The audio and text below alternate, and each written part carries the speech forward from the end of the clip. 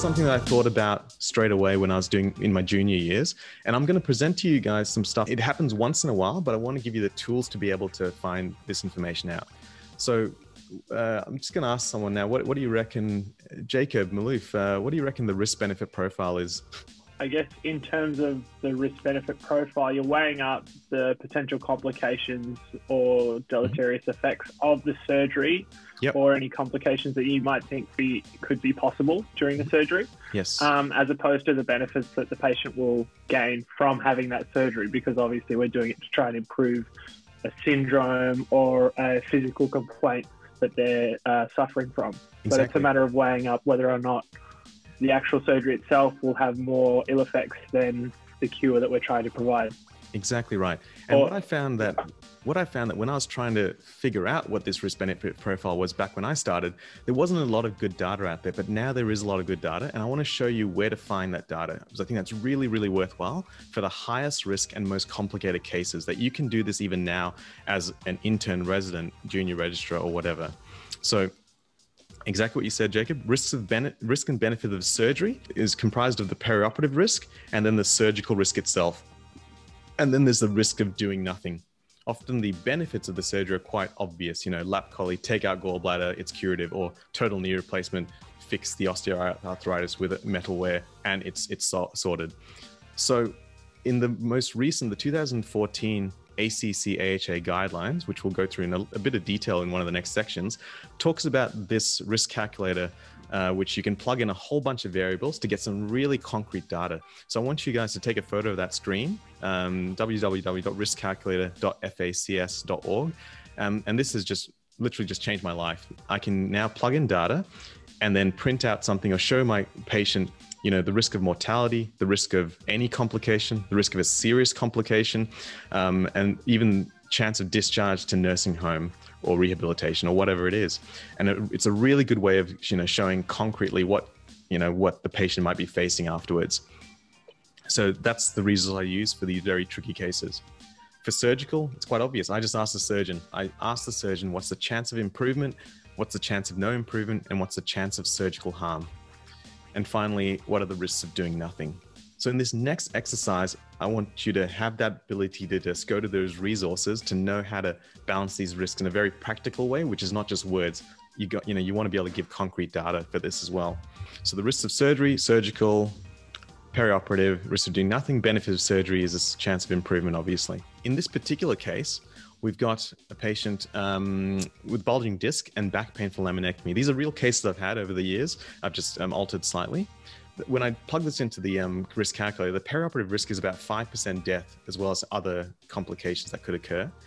And the chance of you know the surgery having improvement is 80%, but the chance of no improvement is about 19%, and the chance of harm is 1%. So this was a really tricky situation. With these rates, who would go ahead with surgery? And a lot of patients would go ahead. But the next question I had to ask was, what are the risks of doing nothing? So this patient was in so much pain and they had a 1% chance of paralysis if they did nothing that that kind of balances up. I've got a 1% chance of harm with the operation, but I've got a 1% chance of paralysis and harm even without the operation. So this really does favor me doing the doing the procedure. Maybe if the, maybe if my pain wasn't that bad, you know, maybe I would go ahead, or maybe if I was just really happy with my life at the moment and, you know, a few more years was all I needed, maybe I wouldn't go ahead. Now, I want you to think about this 45 year old female for a lap chole, past history, severe OSA, BMI 60, severe pulmonary hypertension, limited functional capacity. So the risks of surgery are low specifically. I mean, you know, once you get past the BMI issue, they'll get the gallbladder out, not, not the highest risk operation, but really uh, like that you ask, what are the risks of doing nothing? So in this patient, 30% will have a gallstone related complication in the next 12 months. And when you think about that, suddenly my elective bad patient, you know, with high risk has now gone to emergency, potentially emergency high risk patient. So it's exactly the right question I need to ask. And when I asked the surgeon this, they said, yeah, look, it's, uh, we'd rather do this electively uh, than urgently. Next one, 60 year old male for revision total knee replacement. Again, a whole bunch of bad stuff, bad heart failure, very low ejection fraction, severe COPD. Um, again, what do I want to ask the surgeon? I'd ask these questions, and essentially, again, the risk of surgery per se is low. It's curative, but the risk of doing nothing is pain and limited mobility. So this is where it can get pretty complicated, right? Um, so let's say, imagine that patient is the highest risk patient you can imagine. Um, I do exactly what you just said there. I do a, I do a quality of life assessment, and this is not something they teach in anesthesia necessarily, but I think it's the question that often, you know, we don't we don't often ask the patients to help guide them to a decision. Would they be, you know, would they rather be in their current state than undergo the hazards of the operation? Are they happy how they are, or they do they really you know want to fix what they've got? And you can imagine these two situations where you you know say you've got someone who isn't very active doesn't care to be active is happy you know with the amount of pain they've got and they're happy just watching tv on the couch and that makes them joyful. Versus someone who's really active really wants to go and play with their grandkids and do active stuff and that's debilitating and they're so unhappy with their life because of it it's a very different scenario of the same patient and it would change everything of how I perceive that situation. So I asked that question would they rather be in the current state than undergo the hazards? And also, is their disease unlikely to progress, like in that gallbladder example? Now, generally speaking, most patients who have sought medical advice will elect to go ahead with the operation. That's just been my experience over time. That very rarely is it the patient goes, actually, you know what?